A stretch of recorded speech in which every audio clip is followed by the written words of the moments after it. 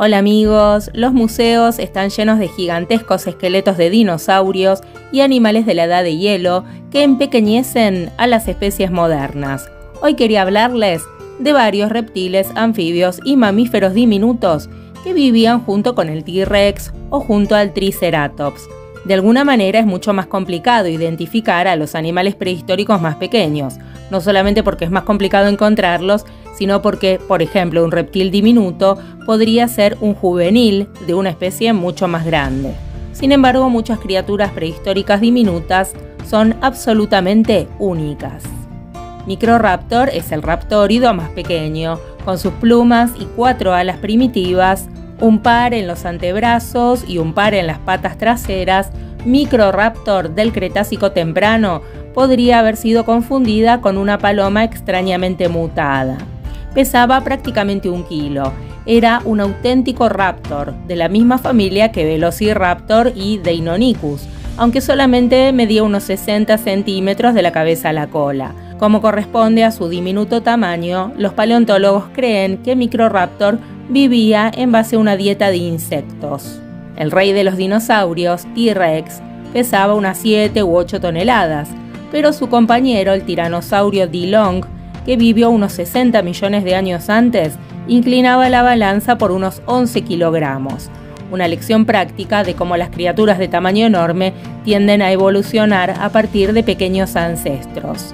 Lo más notable es que D-Long, de Asia Oriental, estaba cubierto de plumas, un indicio de que incluso el poderoso T-Rex pudo haber lucido un plumaje en alguna etapa de su ciclo de vida. El saurópodo más pequeño, Europasaurus, pesaba unos 900 kilogramos. Cuando la mayoría de la gente piensa en los saurópodos, se imagina enormes herbívoros del tamaño de una casa, como por ejemplo Diplodocus, Apatosaurus, Argentinosaurus. Estos se acercarían a las 100 toneladas de peso y medirían unos 30 metros o más. Europasaurus no era mucho más grande que un buey moderno, tenía solamente un peso de unos 900 kilogramos la explicación es que este dinosaurio jurásico tardío vivía en una pequeña isla aislada del continente europeo como su igualmente diminuto primo, el titanosaurio Magiarosaurus. ¿Cuál era el dinosaurio con cuernos y volantes más pequeño? Aquilops, y pesaba solamente un kilo y medio.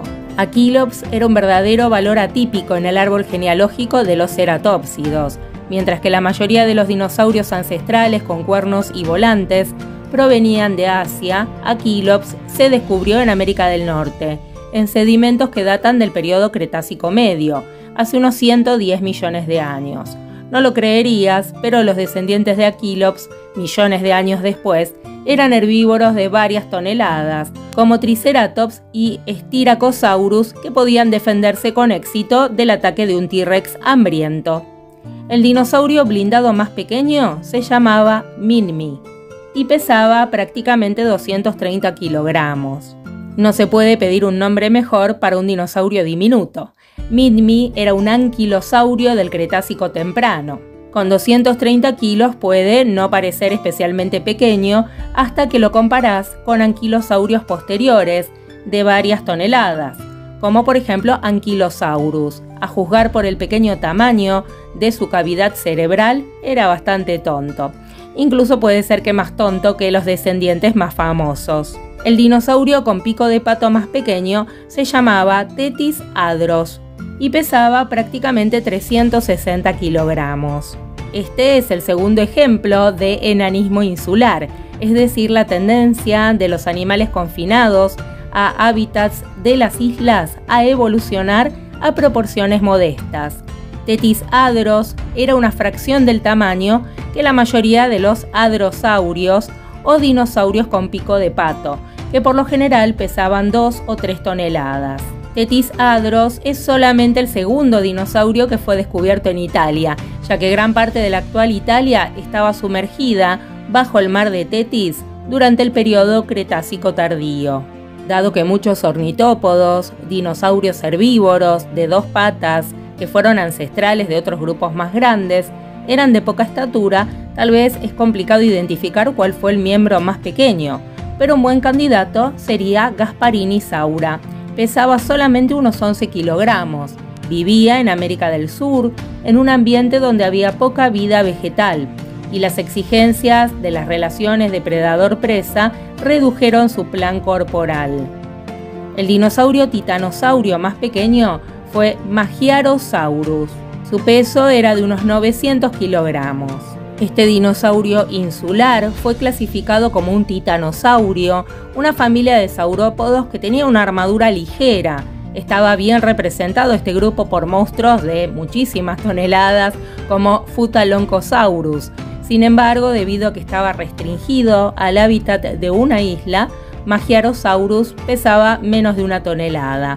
Algunos paleontólogos creen que este titanosaurio hundía su cuello bajo la superficie de los pantanos y se alimentaba de vegetación acuática. ¿Cuál fue el pterosaurio más pequeño? Bueno, un buen candidato, Nemicolopterus.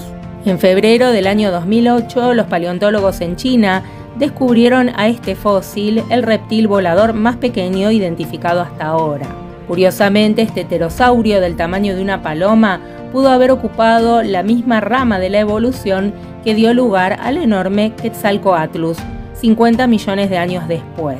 El reptil marino más pequeño fue Cartorhynchus y pesaba aproximadamente 2 kilogramos y medio. Unos pocos millones de años después de la extinción del Pérmico Triásico, la extinción masiva más mortífera en la historia de la vida de la Tierra, la vida marina no se había recuperado por completo. Un sobreviviente de este periodo fue Cartorhynchus, un ictiosaurio o lagarto pez, que solamente pesaba 2 kilos y medio, pero que seguía siendo uno de los reptiles marinos más grandes dentro del periodo Triásico temprano. No lo podrías creer, pero los descendientes de Cartorhynchus, millones de años después, incluyeron al enorme ictiosaurio de 30 toneladas, Jonisaurus. El cocodrilo prehistórico más pequeño se llamaba Sartia y pesaba unos 5 kilos.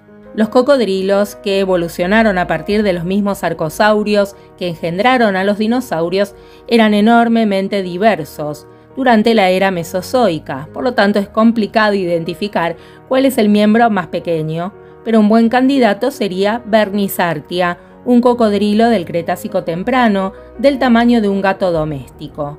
Tan pequeño como era, Bernisartia tenía todas las características clásicas de los cocodrilos, como hocico estrecho, armadura, lo que parecía una versión reducida de los gigantes posteriores, como por ejemplo Sarcosuchus.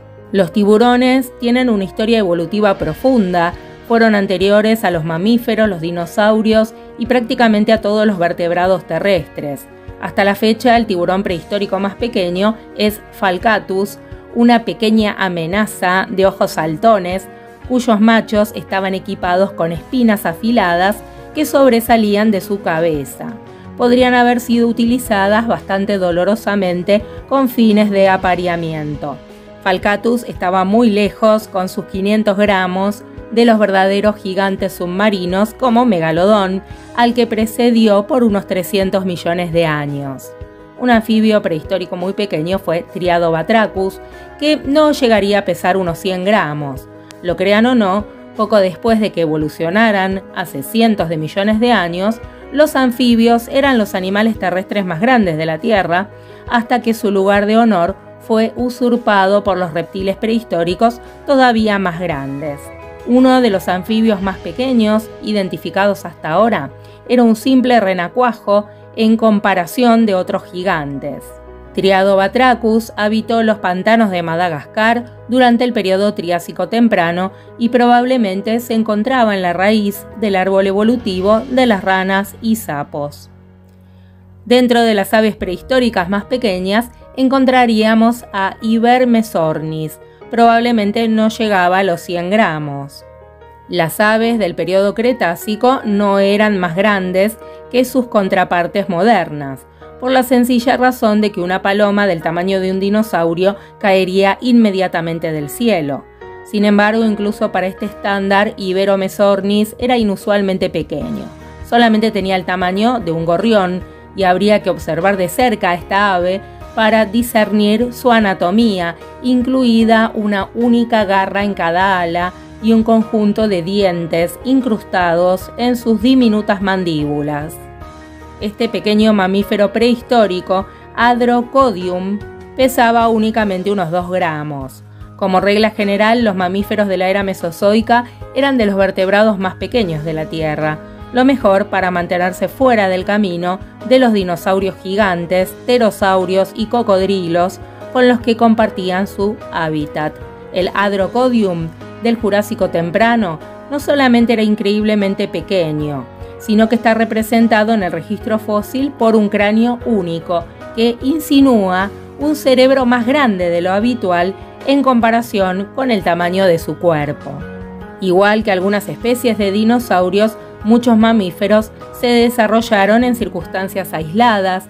Esto que llamaríamos un elefante enano incluía especies reducidas de un cuarto de tonelada, de mamuts, mastodontes y elefantes modernos, todos los cuales vivieron en varias islas mediterráneas durante la época del Pleistoceno. Por cada gigante australiano, como un wombat gigante o el canguro gigante de cara corta, había una variedad desconcertante de pequeños mamíferos con bolsas.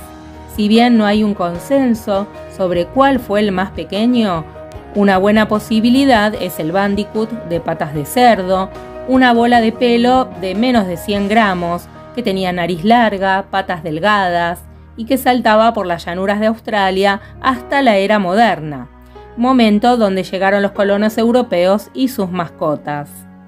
¿A quién no le gustan los perros? Aquí tenemos un lindo perro, Leptosion, que solamente pesaba 2 kilos y medio. El linaje evolutivo de los caninos modernos se remonta a unos 40 millones de años. En este tiempo hubo razas de una talla enorme, como Borophagus y el lobo terrible, y géneros comparativamente enanos, como Leptosion, el perro delgado. Lo sorprendente de este Leptosion es que varias especies de este cánido persistieron durante prácticamente 25 millones de años, lo que lo convierte en uno de los mamíferos depredadores más exitosos del Oligoceno y el Mioceno en América del Norte. Dentro de los primates prehistóricos, este era realmente pequeño. Arquicebus probablemente no llegaba a los 100 gramos. Igual que con muchos otros animales de esta lista, no es sencillo identificar un primate prehistórico más pequeño. Después de todo, la mayoría de los mamíferos del Mesozoico y del Cenozoico temprano eran del tamaño de un ratón. Arquicebus es una opción tan buena como cualquier otra. Lo bueno de toda esta lista es que seguramente se encontrarán animales más pequeños, ya que todos los días hay nuevos descubrimientos. Bueno amigos, si les gustó el tema que les traje hoy, los espero nuevamente otro día. Les mando un abrazo muy grande y cuídense mucho.